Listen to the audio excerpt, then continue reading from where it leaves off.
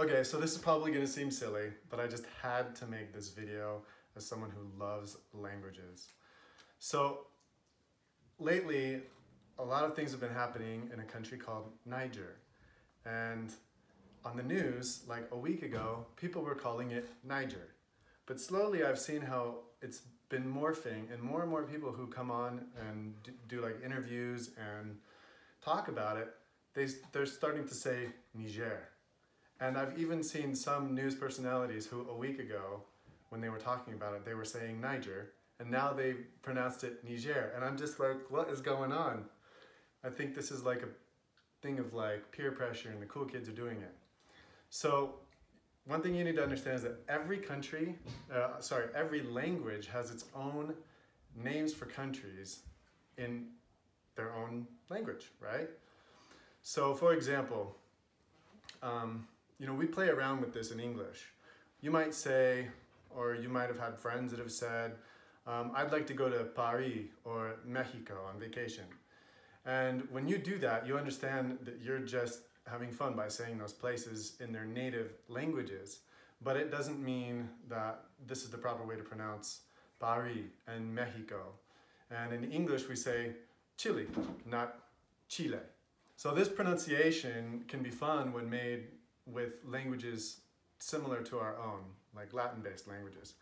But for example, Egypt, the language they speak there is Egyptian Arabic, and they don't call their own country Egypt, they call it Masr in Arabic. And the same thing with China. In Chinese, it's not China, it's Zhongguo.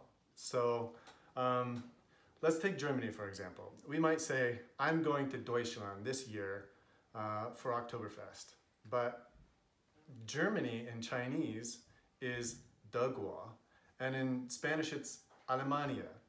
So even the United States in Spanish is Los Estados Unidos, and in French it's uh, Les États-Unis. So you could say a mixed sentence, like with two languages or even more, like they do with Rojak in Malaysia, but um, like I'm coming home to Los Estados Unidos. But you'd have to say that to someone who understands what you're saying, and you know that you've switched from English to Spanish or the other language. So there's even terms for that. There's Spanglish and Taglish, which is Tagalog, Filipino language, and English mixed together. And even Chinglish. So in communities where two languages are spoken together, they, they make languages like this.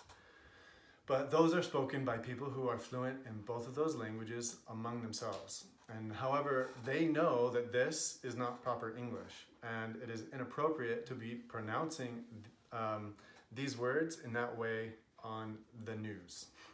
Now, let's get back to the word Niger. In English, we have a huge amount of words with French origins like civilization. Um, in fact, most words that end in ION are from French. We just have a huge amount of words from French. But we pronounce them with our English pronunciation. We don't say civilisation, we say civilization. However, there are some words that we did keep the French pronunciation of, uh, while remaining to be proper English, such as naive, à la carte, couture, chic, déjà vu, fiancé, and even genre. However, Niger is not one of them. The confusion comes from the fact that Niger was colonized by France in about 1900.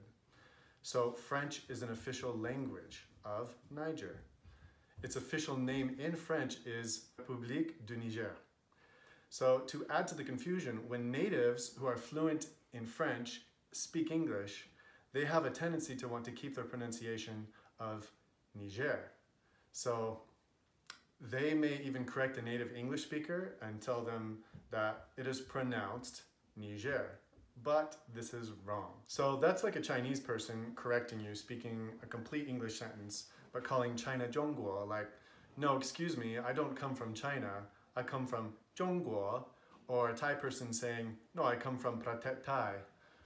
I've even been corrected by people in Barcelona having a complete English conversation with them, but then they say, no, no, no, it's pronounced Barcelona. Okay, sure it is when I'm speaking Catalan.